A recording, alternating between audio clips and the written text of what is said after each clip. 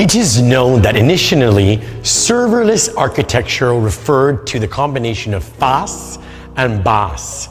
With the growing acceptance of long-run mode by developers, the definition of serverless architecture has naturally been upgraded. For example, serverless should be FaaS plus BaaS plus CaaS or FaaS plus BaaS plus others, or simply server plus less which means serverless architecture is a form of server-side free operation and maintenance or low operation and maintenance. So what exactly is the architecture pattern of serverless and how to go about selecting serverless technology? Hello and welcome to this episode of Cloud Forward. Today, let me introduce you common architecture patterns for serverless.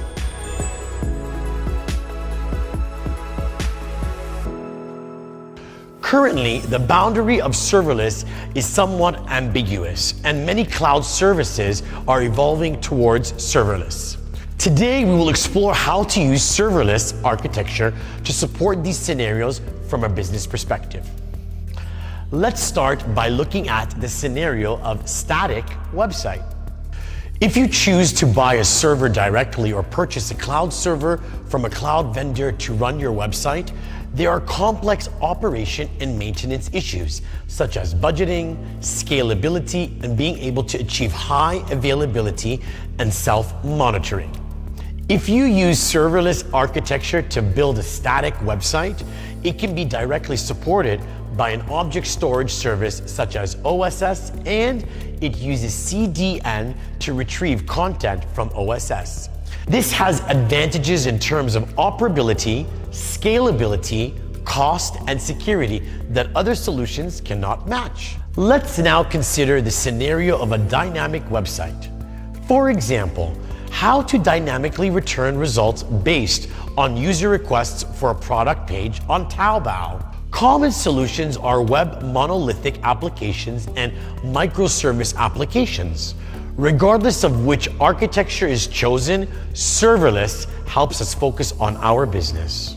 Serverless microservice architecture introduces API gateways, function compute, or serverless app engine to implement the computing, offloading a lot of work to cloud services and allowing users to focus on implementing business logic.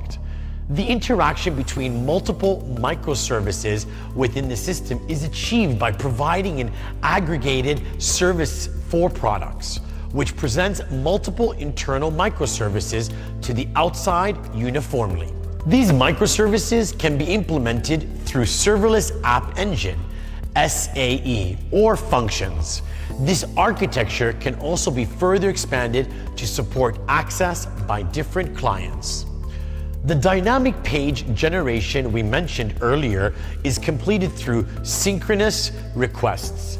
Other common scenario involves requests that typically require more time or resources to process, such as managing image and video content in user comments. This involves how to upload images and process them, thumbnailing, watermarking, censorship, etc and videos to meet the playback needs of different clients.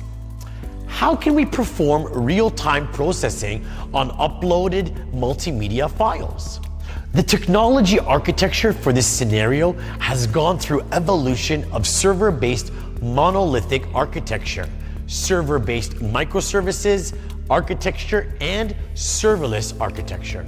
Server-based monolithic architecture faces some issues, such as limited space on single server, the need to purchase more servers, and whether web application servers are suitable for CPU-intensive tasks. This server-based microservice architecture solved most of the above problems, but still faced some challenges, such as how to manage the high availability and elasticity of the application servers.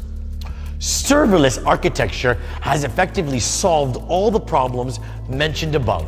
Load balancing, high availability, and elasticity of servers, and message queues that developers use to handle have all been transferred to the internal services. As the architecture evolves, we can see that developers are doing less and less. The system becomes more mature and the business becomes more focused, which greatly improving delivery speed. Let's take a look at a core scenario in e-commerce and order process. This scenario involves multiple distributed problem, which is the most troublesome problem caused by the introduction of microservice architecture. A monolithic application can handle this process to some extent because it uses a single database and can maintain data consistency through database transactions. However, in reality, it is necessary to interact with some external services, and a certain mechanism is required to ensure the smooth progress and rollback of the process. A classic pattern for solving this problem in the Saga pattern, there are two different architectures for implementing this pattern. One approach is to use an event-driven pattern to drive the process. The problem with this approach is that as the process becomes longer and more complex, the system becomes harder to maintain. Another architecture is Saga pattern based on the workflow. This approach brings challenges such as the need to write a lot of code to implement orchestration logic, state maintenance, error retry, etc. And these implementations are difficult to be reused by other applications. In this case, we can rely on cloud services such as Alibaba Cloud Serverless Workflow Service to handle all of these tasks, which allows users to focus only on business logic states. We can see that this achieves the effect of the event-driven Saga pattern mentioned earlier, while greatly simplifying the process and improving observability. Let's take a look at how to select serverless technologies next. Alibaba Cloud offers serverless products for functions, applications, and containers, allowing users to choose the appropriate product based on their specific use case. Alibaba Cloud Function Compute FC is a FaaS function as a service product that is event driven and fully managed. From the user's perspectives, all they need to do is writing the code and uploading it to a function compute. At this point, there is no cost yet, and only when the function is called will there be a charge. The way to call it can be through the products provided API, SDK, or through some event sources such as Alibaba Cloud's OSS event. For example, when a user uploads a file to a specific bucket in OSS, they want the file to be processed automatically or they upload a zip package and want it to be automatically decompressed to another bucket. These are typical function scenarios. Let's take a look at Alibaba Cloud's serverless app engine, SAE, which is the industry's first serverless PaaS platform for applications. SAE provides computing resources, elasticity, and isolation capabilities from the resource level allowing users to focus only on their applications. At the application level, SAE provides monitoring, logging, microservices governance, and other capabilities to help users address application observability and governance needs. SAE also provides network configuration and traffic control capabilities and has good integration with CI CD, allowing users to use existing CI CD tools such as Jenkins and Alibaba Cloud DevOps to deploy to SAE. It covers the entire process of application migration to the cloud. Next, let's learn about the leading service in the industry serverless container service, Alibaba Cloud Serverless Kubernetes ASK. Kubernetes operation and management are still relatively complex and the skill requirements are high.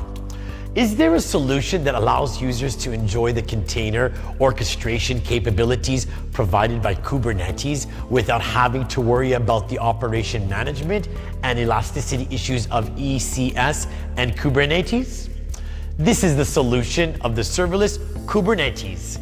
The corresponding product in Alibaba Cloud is Alibaba Cloud Serverless Kubernetes.